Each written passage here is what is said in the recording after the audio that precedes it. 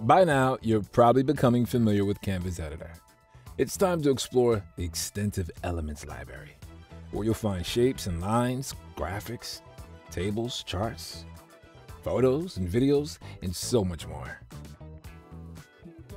You'll even be able to create your own visuals using the AI image generator. In this video, we'll show you how to navigate, find, and customize items from the Elements tab.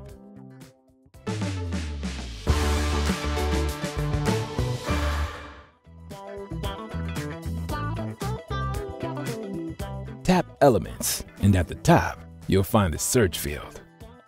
You'll be using this a lot. It's really the best way to find exactly what you need. The results are categorized by type, and you can filter here. Advanced filtering lets you choose color and orientation, whether it's animated or static. Let's choose graphics. You can find out more information about each element by tapping and holding on the element.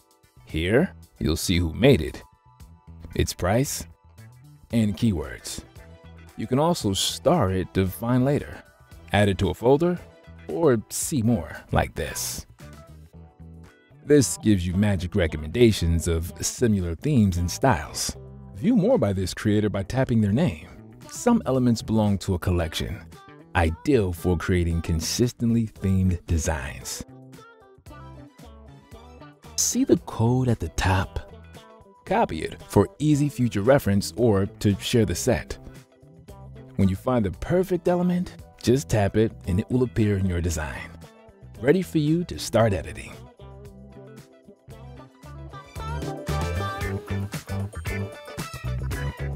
Below the recently used section, you'll find shapes. Tap See All and you can choose pre-made line styles.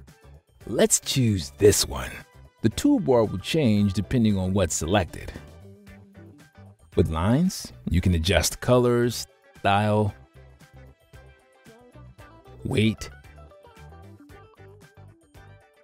endpoints, and the type of line. Resize by dragging an endpoint or move the entire line like this rotate it here. Choose one of the predefined shapes from the menu, and you'll see they work in a similar way. You can also start typing within shapes, then adjust the font and style using the text tools. Don't want a square? Change it to a triangle here. Adjust the corner rounding like this.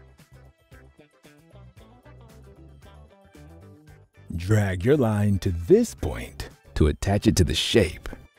Now, when you move the shape around, it stays attached.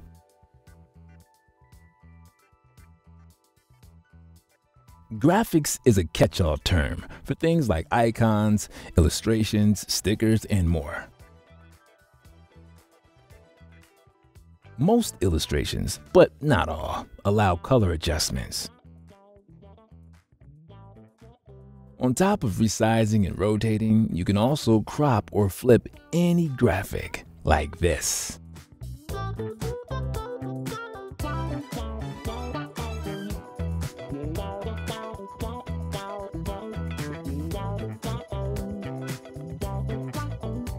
Photos and videos are much the same, but deal with static and moving images, respectively.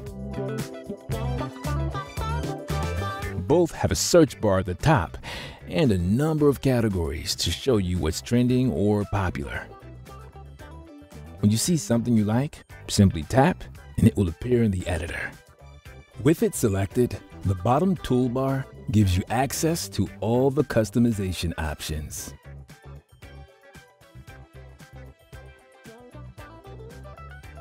The audio menu is similar, but you can preview selections by tapping here. Then tap here for the song to be applied to your design.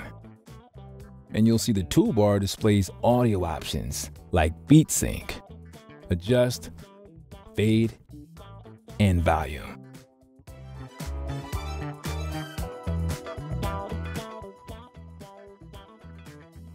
You can also use generative AI to create your own image.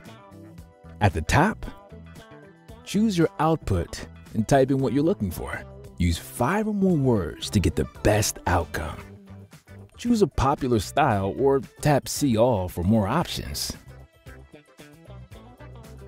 Tap the Generate Graphics button and Magic Media will give you four options. Choose any that you like to add it to your design. Magic Media is worth exploring. It's a great time saver and incredibly fun to see what you can produce with the help of AI.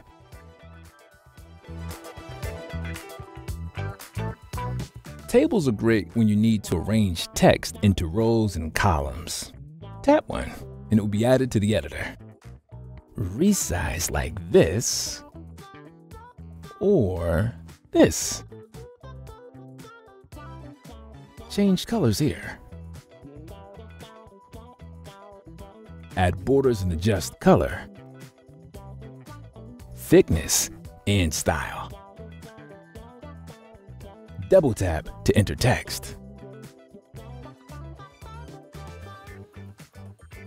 Tap this button to open the full row menu or this button to access the column menu.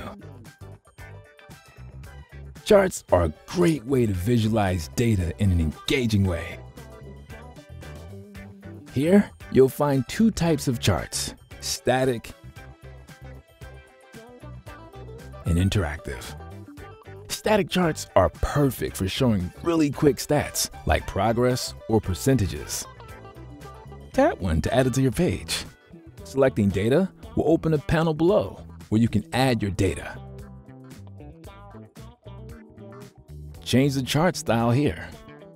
Adjust colors by tapping the palettes here. Fonts, text size, and color here. And even add animation.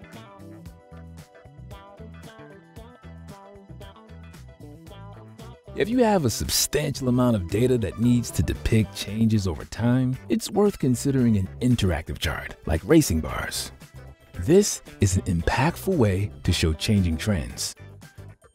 Whereas tree map or packed circles allow you to nest a lot of data that can be explored as needed. Frames are preset shapes that you can drag photos and videos into. And as you can see, there's a wide variety to choose from. Let's choose this one.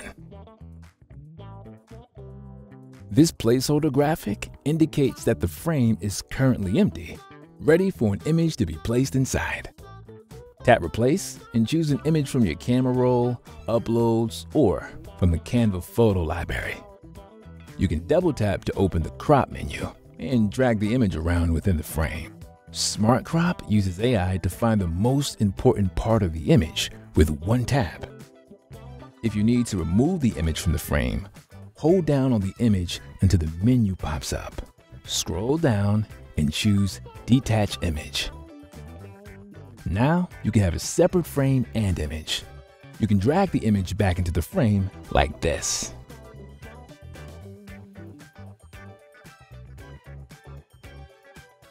Grids will give you multiple frames in a page-filling layout. And they aren't just for images. Filling them with color is a great way to section out areas of your design or video.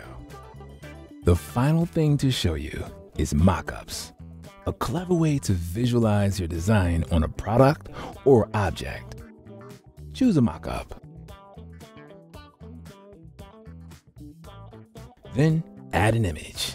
Then like before, you can drag in your image and it'll appear mocked up on a wall, a t-shirt, a cushion, uh, pretty much anything you can think of. So that's your introduction to the Elements tab, home to the most extensive library of graphic elements. Ready to inspire and enhance your designs? We'd suggest pausing these videos and exploring it more. Try creating a design solely using one collection, or start a new project based on an AI generated image. The creative possibilities are limitless, but we can't wait to see what you create.